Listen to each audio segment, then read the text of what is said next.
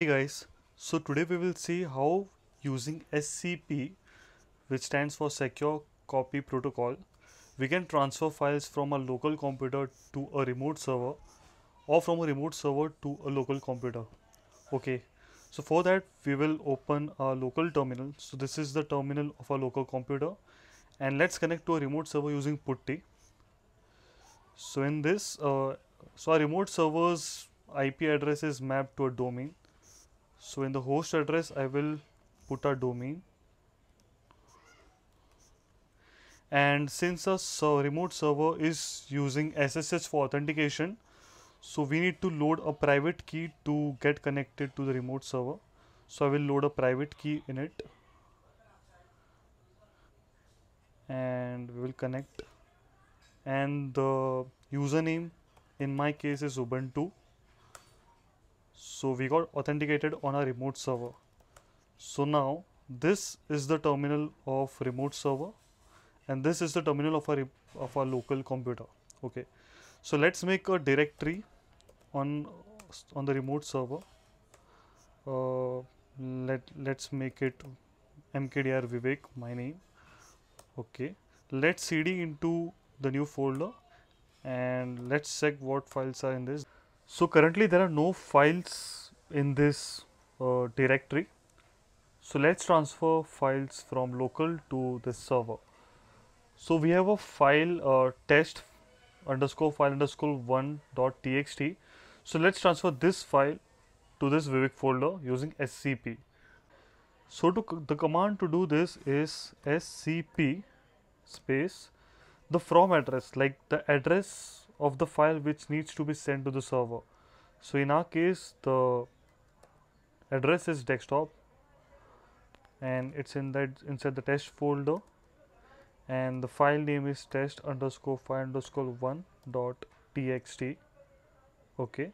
And space and then the address of the remote server.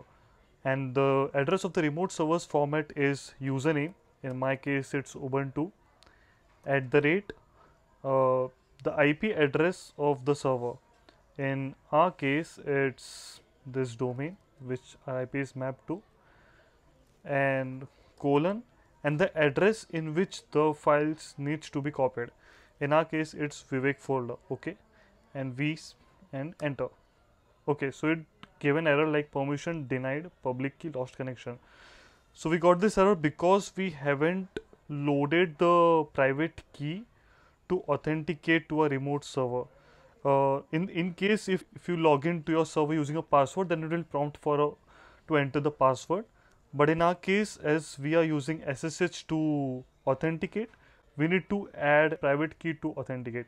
So the command for that is SSH dash add and the path of a private key. In our case, it's desktop hyphen uh, slash and it's private key dot pem enter okay.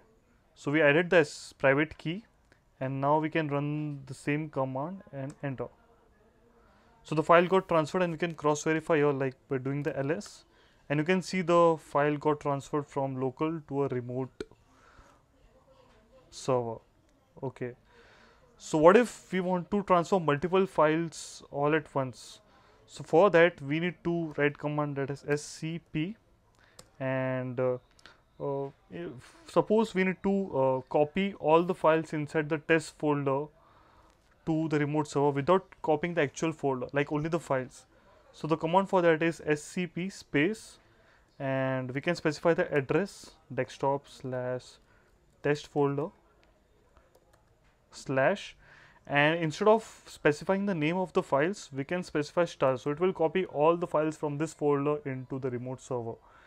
And the same thing ubuntu at the rate the ip address colon inside the Vivek folder and enter. So all three files got get got copied into this ubuntu server and we can ls and see like all the three files are copied.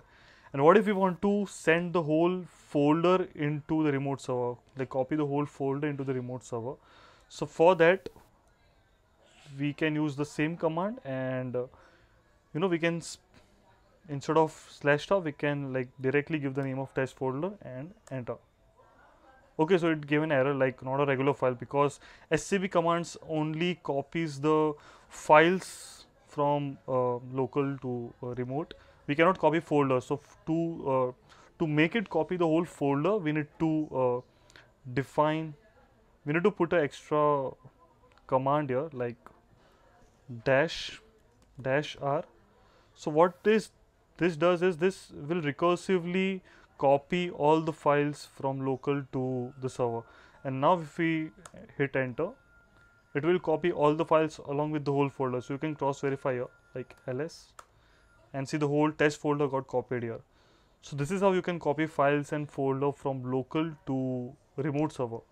Now let's copy files from a remote server to a local server so to do that the command will be the same scp space. Now we need to specify the address the from address like from which address you need to copy. So our uh, since our from address will be a remote server's address so we will specify ubuntu username at the rate the ip space vivek slash the file which need to be copied.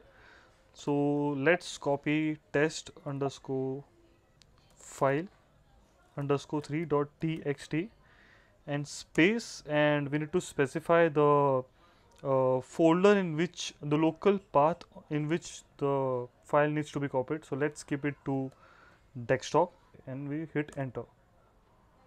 See, so as you can see the test underscore file underscore 3.txt got copied from remote server to the local server.